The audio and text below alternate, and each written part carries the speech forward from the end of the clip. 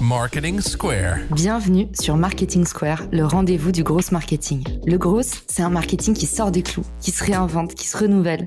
C'est aussi un mindset qui repose sur l'envie de se dépasser, de se détacher de ses opinions une bonne fois pour toutes et d'apprendre en continu. Si tu te reconnais dans cette description, que tu sois débutant ou expert, abonne-toi. Ce podcast va devenir ton meilleur allié. Si vous êtes comme moi et que vous cherchez toujours à aller plus loin, alors vous allez adorer. Avec HubSpot, dites adieu aux opportunités manquées. Leur plateforme client unifiée et alimentée par l'IA intègre des logiciels d'engagement client et un CRM vraiment intelligent. Ne me croyez pas sur parole. Découvrez par vous-même comment HubSpot peut accélérer votre croissance en alignant vente, marketing et service client. Rejoignez la révolution HubSpot et rendez-vous sur notre page hubspot.fr/slash marketing square pour découvrir ce qu'on vous a concocté.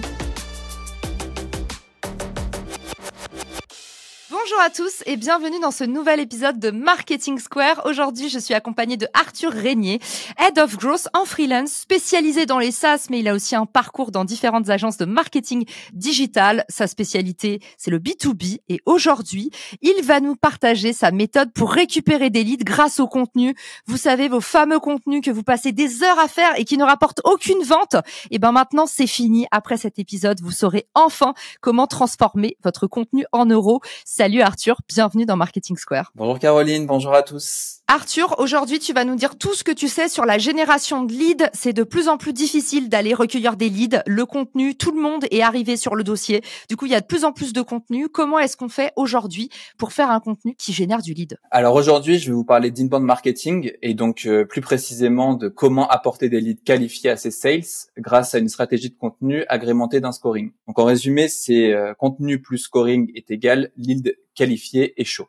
C'est destiné aux entreprises B2B qui vont aller plutôt chercher des leads froids et euh, on va chercher à les, réchauffer avec le contenu.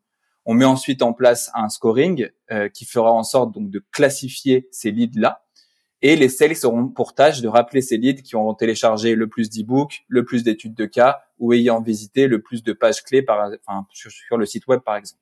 Il faut savoir qu'un lead magnet, donc un e-book, une checklist, un calculator, c'est un coût d'acquisition huit fois moins élevé euh, qu'avec une landing page euh, classique avec un formulaire de démo. Donc on apporte de la valeur ajoutée, on devient expert du domaine et donc c'est de la réassurance plus plus plus. Moralité, soyez généreux et offrez un maximum euh, de contenu gratuit parce que bah effectivement, plus on est généreux, plus on se démarque. Donc effectivement, la landing page, euh, je te rejoins complètement Arthur, je pense que maintenant euh, ça ne suffit plus et l'idée c'est d'aller voir en fait ce dont votre cible a besoin, commencer déjà à répondre à moitié à son besoin et puis bah derrière, une fois que vous avez déjà le pied dans la porte, bah vous avez initié la relation commerciale sous les meilleurs auspices. Par quoi est-ce qu'on commence du coup Arthur pour mettre au point ta méthode Alors l'objectif, c'est de créer des contenus qui vont convenir à tout le monde. Il faut créer des contenus de type notoriété, donc comme une vidéo, une checklist, un snack content, un petit contenu, euh, pour convaincre ceux qui ne te connaissent pas. Ensuite, tu vas créer des contenus considération, donc comme un calculateur de ROI, un webinar ou un template de téléchargeable. Et enfin, des contenus plus techniques, dits euh, de décision, donc euh, un e-book précis sur sur ta thématique ou une étude de cas sur un client. Donc ce lead magnet, il est téléchargé via une landing page, euh, bien sûr qui est optimisé pour la conversion, avec un formulaire haut, avec des logos des clients, avec euh, voilà, enfin des infos de la réassurance. Et donc tu peux y accéder sur cette landing page en ayant fait une recherche enfin une, recherche sur Google, pardon, donc du SEO, après avoir cliqué sur une pub, après euh, un post sur LinkedIn, un post organique, et donc ça peut marcher avec tous les canaux d'acquisition finalement. Mais je me fais un peu l'avocat du diable, Arthur. Parfois, on parle de d'infobésité. Euh, il y a beaucoup, beaucoup, beaucoup de contenu.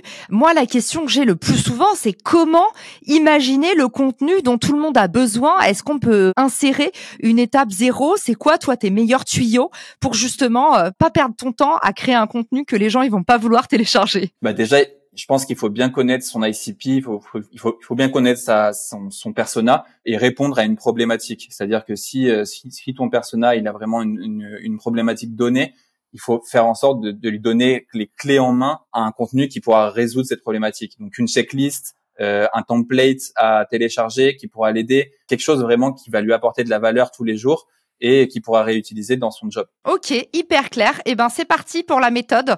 Du coup, tu nous as déjà parlé euh, du premier point. Tu nous as dit il faut créer du contenu qui mêle la considération et la décision. Ensuite, on l'héberge sur une landing page. Évidemment, tu nous as dit essayer de comprendre d'où vient euh, le prospect parce que ça vous permet de faire des landing pages personnalisées.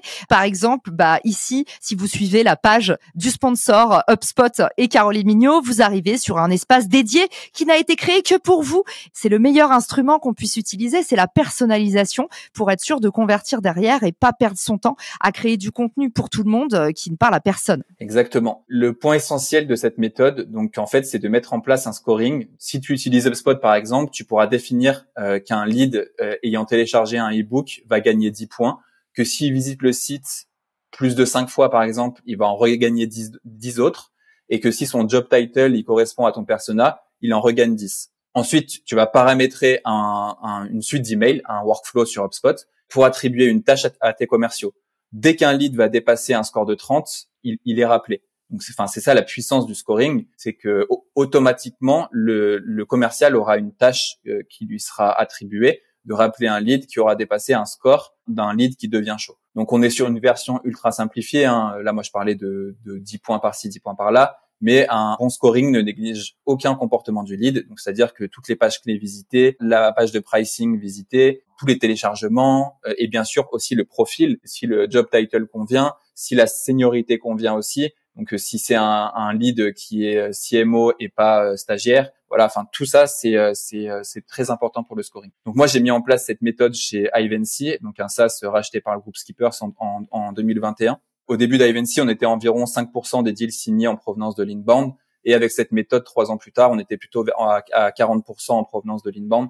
Donc euh, c'est quelque chose de, enfin, qui marche vraiment très bien. Est-ce que tu peux nous repréciser du coup comment est-ce qu'on implémente ce scoring? C'est quoi tes meilleures pratiques? Alors les meilleures pratiques, c'est de mettre euh, des, des, attributs. Si on est sur HubSpot, hein, c'est dans la partie propriété. Hein. et donc euh, ces, ces, attributs, tu vas pouvoir les noter. Donc par exemple, plus 10 points pour le téléchargement d'un ebook, moins 10 points si c'est un stagiaire. Et eh ben tu vas tu vas vraiment lister tous ces points. Ça me fait rire. Le moins 10 points si c'est un stagiaire, c'est expéditif. Alors parfois dans, dans, dans des domaines, les stagiaires servent beaucoup pour la veille et donc ça peut, enfin, ça peut ne pas fonctionner. Mais ça peut être ton critère, par exemple. Moi, ce que je conseille, c'est vraiment de, bah, de lister tous ces attributs sur sur un, un, Google Sheet ou sur Notion ou n'importe où et euh, de, de, tout lister pour pas en oublier et ensuite de mettre en place ton scoring sur HubSpot et surtout de le mettre à jour parce que c'est quelque chose qui peut vite être obsolète, surtout si tu as des contenus qui se créent euh, très très très souvent.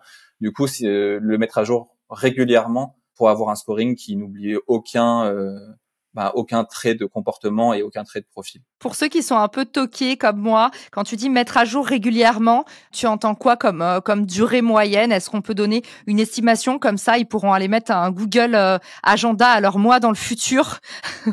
ne pas oublier mettre à jour CRM. Et franchement, c'est ce qu'il faut faire, hein, mettre une petite une petite tâche de rappel et c'est une fois par mois. c'est bien, surtout quand on est quand on a une content factory et que et qu'on est enfin quand on a vraiment beaucoup de contenu qui sort et euh, si on fait partie d'une entreprise B2B qui a une équipe contenu déjà, ça veut dire qu'il y a beaucoup de contenu qui sortent. Et donc là, enfin, une fois par mois, il faut vraiment euh, revoir son scoring pour qu'il soit pas obsolète. Et surtout qu'en plus, on n'en a pas parlé, mais ton score maximum peut aussi évoluer. Ça se trouve que au début, il, était de 30, mais maintenant il est de 100. Et en fait, il faut vraiment que tu on va dire, 10% de ta base qui soit euh, au-dessus du score maximum. Et donc, c'est ces 10%-là qui seront les, les prospects ultra chauds. Qu'on est dans cette euh, deuxième étape, du coup, comment mettre en place son scoring? Petit aparté, euh, parce qu'on parle justement des contenus euh, qui rapportent. Si vous voyez qu'il y a des contenus qui ont de l'attraction plus que d'autres, n'oubliez pas que le scoring, il est aussi là pour vous indiquer ah mais tiens, ce truc-là, il nous rapporte encore pas mal de leads qualifiés et c'est peut-être l'occasion, si ce contenu a pris la poussière, de le réactualiser. en tout cas, typiquement, tu parlais d'UpSpot justement, eux, ils sont très forts pour ressortir des contenus, les remettre à jour et en fait, on va le temps chercher des nouveaux clients, créer des nouveaux contenus, alors que souvent c'est dans les vieux pots qu'on fait euh, les meilleures confitures et remettre à jour un article ou un lead magnet qui a super bien marché il y a deux ans, ça peut être une vraie bonne pratique. Je pense que HubSpot c'est les meilleurs euh, sur ça. Idéalement, quand tu fais par exemple un webinar, tu vas essayer d'en faire un article de blog, ensuite tu vas essayer d'en faire une checklist, tu vas essayer d'en faire un ebook.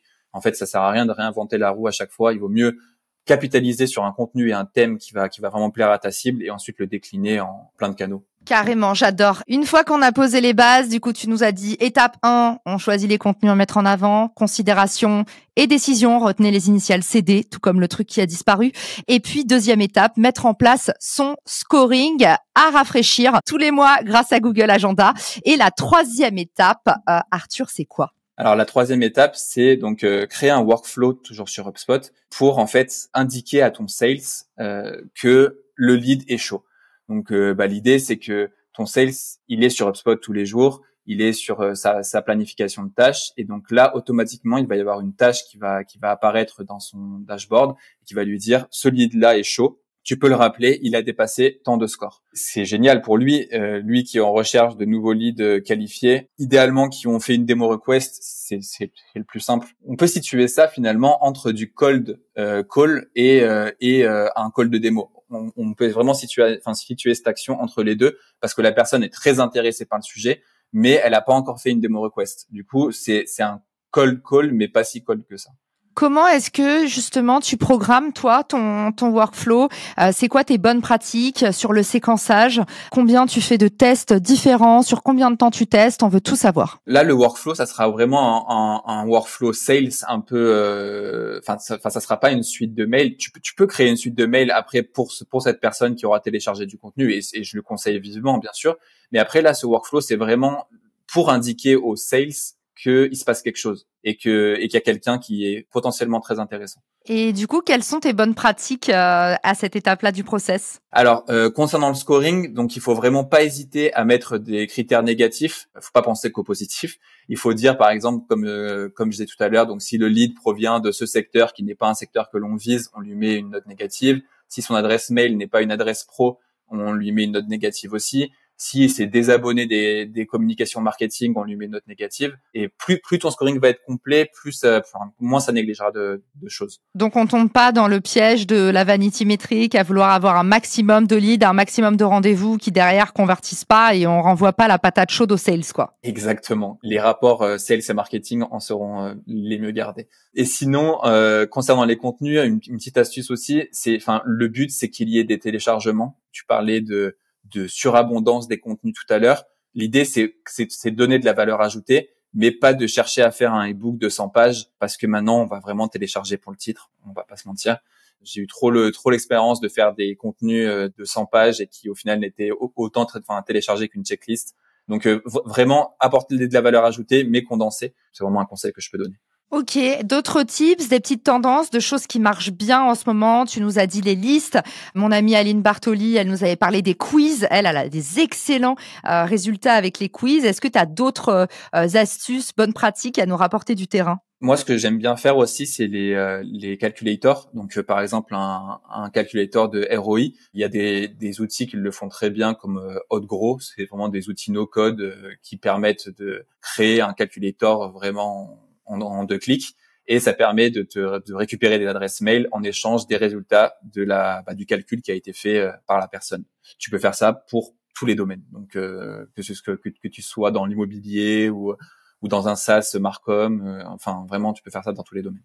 Comment tu le construis du coup ton calculator? Ton calculator, tu utilises un outil comme comme Gros. Tu vas lister en fait des bah, des attributs du type nombre de visiteurs, nombre de leads, chiffre d'affaires, en fait, la personne va remplir ces critères-là et toi, tu vas donner un résultat. Et pour avoir le résultat, du coup, euh, il y a euh, un petit mail qui est demandé, bien sûr. Je souris parce qu'on s'est tous déjà fait avoir et en même temps, c'est trop bien parce que c'est la meilleure euh, option pour les marques de prospection. C'est en fait inverser le rapport de force entre l'offre et la demande et faire en sorte que ton client vienne frapper à ta porte. Et typiquement, cet outil dont tu parles, gros, comment est-ce que tu l'écris? Arthur Je connaissais pas. Ouais, c'est Outgrow, O-U-T-G-R-O-W. Je crois que c'est un outil euh, d'Europe de l'Est. Je pense qu'il y en a plein d'autres hein, qui le font, mais en tout cas, moi, je l'ai, déjà mis en place. C'est très simple d'utilisation. Ce qui est génial, c'est que ça gère les, des calculs un peu savants. Tu peux faire des, des formules ultra compliquées et qui te ressortent des résultats en fonction de tous les critères qui ont été listés. C'est euh, non, non, c'est,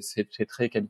Franchement, tu m'apprends un truc et puis euh, j'espère que mon CTO tombera pas sur cet épisode parce que quand on a lancé Richmaker, je lui ai fait développer pendant deux semaines un Rich Calculator qui était euh, basé sur les indices qui euh, sortaient de livres blancs qui faisaient genre 200 pages et franchement, on s'est bien emmerdé à faire le Rich Calculator pour aller récolter des leads pour Richmaker. Donc j'espère qu'il n'entendra pas cet épisode et qu'il me dira putain Caro, t'aurais pu te renseigner avant de me faire bâtir un truc de zéro.